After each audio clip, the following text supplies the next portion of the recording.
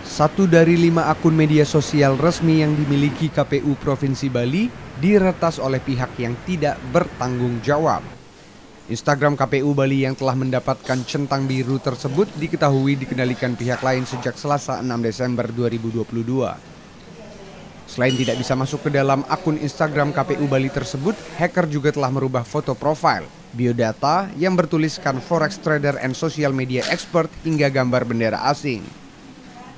Komisioner KPU Provinsi Bali IGD John Darmawan menyebut pihaknya sedang berupaya mengambil alih akun dengan melaporkan kejadian tersebut ke pihak Instagram serta melapor ke KPU RI. Pihaknya juga meminta masyarakat untuk mengabaikan unggahan maupun pesan yang masuk dari akun KPU Bali sampai akun tersebut bisa dipulihkan. Ia menambahkan diretasnya Instagram KPU Bali ini tidak sampai menghilangkan hal-hal penting terkait pemilu 2024 mendatang.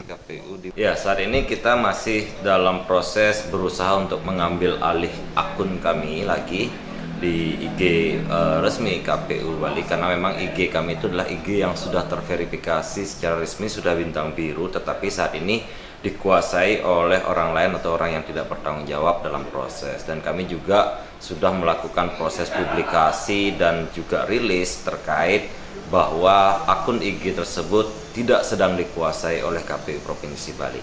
Jadi kami sudah melakukan proses publikasi juga kepada masyarakat kepada pimpinan kami di KPU RI dan kami juga sudah langsung menghubungi pihak Meta secara email maupun secara direct uh, kepada pihak Meta untuk bisa segera mengambil alih akun ini.